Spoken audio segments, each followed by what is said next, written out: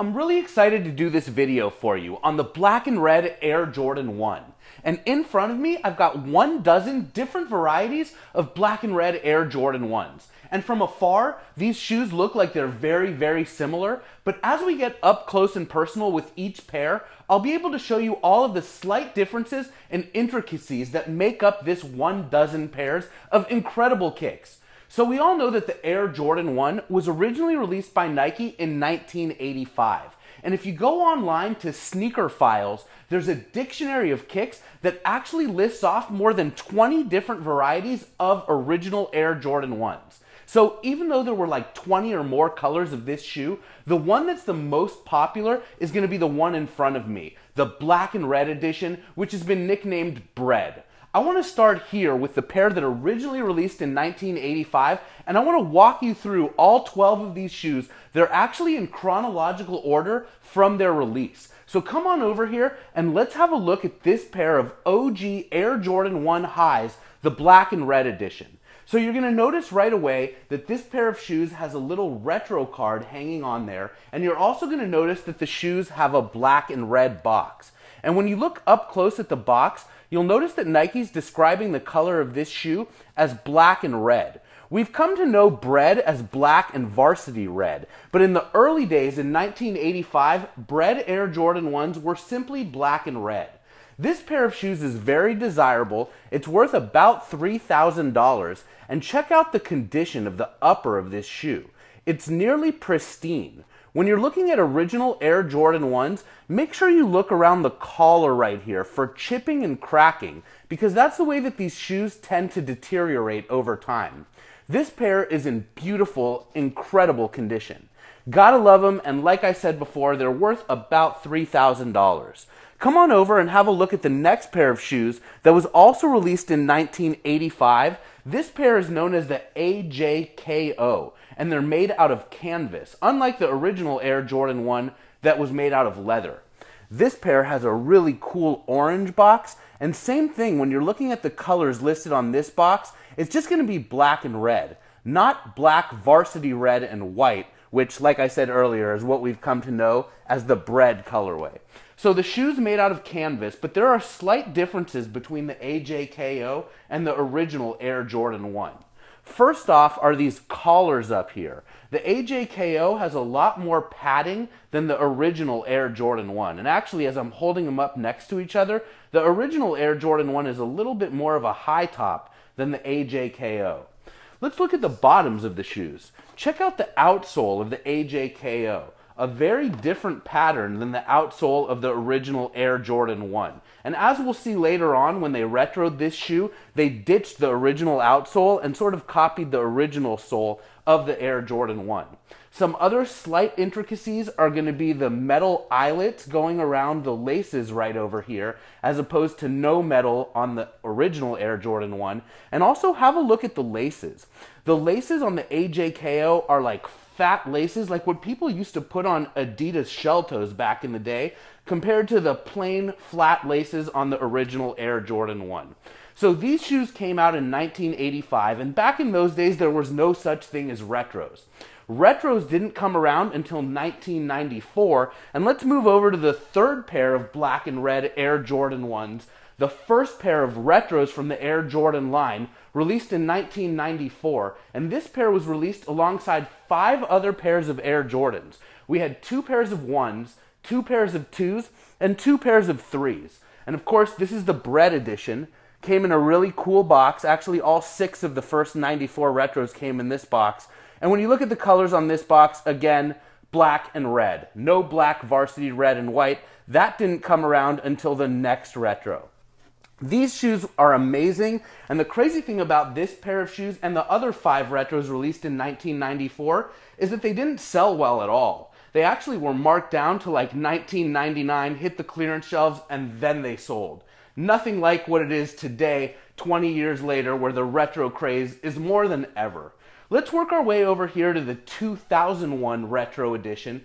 This pair of shoes comes with a little metal Jumpman keychain, very cool. And alongside this pair of shoes in 2001, Nike also released the black and royal blue colorway that also had the Jumpman metal keychain.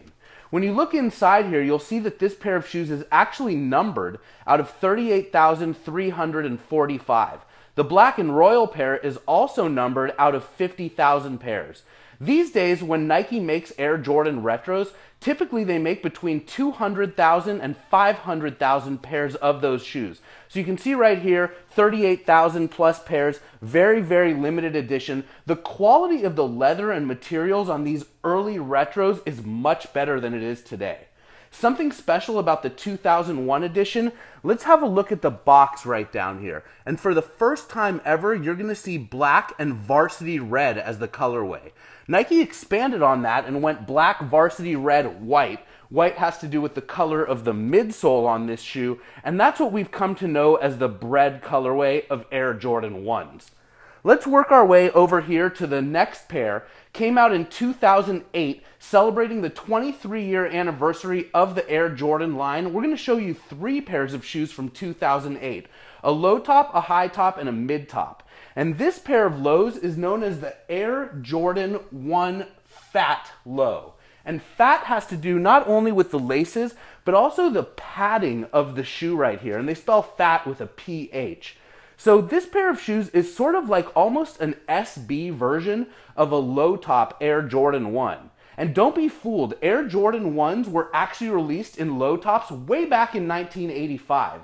Earlier I said there were more than 20 different pairs of original Air Jordan 1s. At least three of them came in low tops, but they didn't look like this, all funky with the fat padding, the fat laces. Pretty cool little logo back here, which is on the Air Jordan 1 and also the Air Jordan 2. It was ditched on the Air Jordan 3 for the Jumpman logo, but as you can see right here, this pair of fats has the old school logo as well as the Jumpman logo on the tongues. Which brings up another point. Sneakerheads love it when their Air Jordans say Nike Air on the tongues, as opposed to these Jumpman logos. And the dozen pairs of shoes that we're looking at here are about half and half in terms of whether they say Nike Air or whether they have the Jumpman logo on there. Anyway, this pair of Phats is like an SB version of Air Jordans. And don't be surprised if in the future years to come, we start seeing Air Jordan SBs. Nike's already been talking about it, and there are rumors that we're going to have Air Jordan 1 SBs.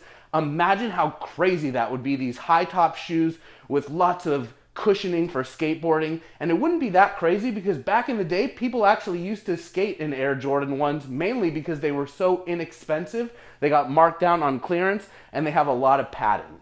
Let's look at the high top pair that came out in 2008. The next pair, it's known as the Air Jordan 1 High Strap. And the strap, of course, refers to this strap that goes around the ankle right here. When you pull it away, the shoe looks like your plain old bred Air Jordan 1. But then when you put this strap right back here, it's sort of like an Air Jordan 1 mixed up with a Nike Vandal or an Air Force 1 High. Remember, Air Force One highs have a strap around there, the mids have a little strap, and the lows have no strap. But I like to think that this strap is much more like the strap on a Vandal because of the multi-colors on here. The straps on Air Force Ones are typically just one color, whereas on the Vandal, you'll see what you see here, stripes of different colors. This pair of shoes is very, very cool, a real sleeper, and I love how you can just pull that strap away and reveal the OG bred Air Jordan 1. So I said in 2008 we'd talk about a low, we'd talk about a high. Let's talk about a mid top and work our way to the front of the table over here with the Air Jordan Alpha 1. This pair of shoes also released in 2008 and it was celebrating the original Air Jordan 1, but it was infused with modern day technology. You'll notice that the upper of the shoe is highly perforated, making for a lot of breathability. You'll also notice that the collars and the lining is very supreme here. Lots of padding to make the shoe very, very comfortable. The shoe also has very different midsoles than the original Air Jordan 1, and the outsoles are different too. And the technology in this shoe is very different as well. This shoe has full Nike Zoom Air from heel to toe. And these shoes were worn by Dwyane Wade on the court, who signed over with Brand Jordan and moved over from another Nike subsidiary Converse. Now, we all know that the Dwyane Wade Air Jordan contract only lasted a few years. He recently left Nike for a Chinese shoe brand. But anyway, pretty cool that Dwyane Wade wore these Air Jordan Alpha ones. He didn't wear this color, he wore the Chicago Bulls white, black, and red edition. Another thing interesting about this pair of shoes, so it's the Air Jordan Alpha one. There's also an Air Jordan 1 Alpha. Very confusing. That shoe is University of North Carolina blue and it has a silhouette of Michael Jordan hitting the game winning jump shot in North Carolina. It was released alongside a pair of Air Jordan 22 Omegas that featured him with his hands up celebrating the last shot. The theme with those two shoes was Alpha was the beginning of Michael's career, Omega was the end of the career. What I think is that it's confusing that Nike has two different Air Jordan 1s that are being called Alphas. Let's work our way to the 2009 edition from the DMP pack with the Boston Celtics shoe. DMP stands for Defining Moments Package, and this shoe celebrates Michael Jordan's 63 point game in the Garden against the Boston Celtics, and it's known as the Chicago Bulls colorway. But the crazy thing about that is Michael Jordan actually wore the white, black, and red edition, the same colorway that Dwyane Wade wore of the Alphas. So Nike sort of botched this release by including the Bred edition with the Celtics when they should have really included the Chicago Bulls edition with the Celtics. Anyway, DMP is defining moments pack. Nike has celebrated the defining moments of Michael's career by releasing these two shoe packs. This one's very, very cool, and even though it should have been the other colorway, you still gotta love it. Let's work our way to the next pair. June 1st, 2010 is when this shoe released, and it was released at Nike outlets across the nation because they're all B grades. When you look right here at the toe box of the shoes, you'll see that they're very creased up. Most of the banned Air Jordan 1s are like this, and that's why they were released at the outlets. People lined up at the outlets and they sold out the day of the release. This pair of shoes is very special because it commemorates the Air Jordan 1 being banned. When you look back here at the heel, you'll see a big X because the shoes were X'd out of the NBA. But there's actually a real legend about that story because nobody's ever seen Michael Jordan break out the Bred Air Jordan 1s in an NBA game. The legend has it he was actually wearing a pair of Air Ships, a shoe that looks very, very similar to the black and red Air Jordan 1, but who knows what the real story is? If you can find a picture of Michael Jordan wearing Bred Air Jordan 1s in a game, that'd be amazing. Send it over to me. No one's ever been able to uncover a picture of that. So this pair of shoes skyrocketed in value. It's worth about $1,000, which is absolutely crazy for a B grade shoe and one that just came out a few years ago, but the hype is more now than it's ever been before. And to think that these shoes sold out at the outlets and then you go back to 1994 when the retros were first coming out and nobody even cared about them.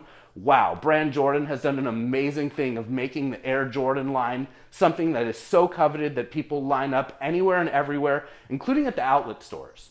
Let's look at the next pair of shoes, the AJKO Retro from 2012. We looked at the original AJKO earlier, and remember I told you that the soles of the Retro are going to look just like the soles of the regular Air Jordan 1 as opposed to what the AJKO soles used to look like back in the day.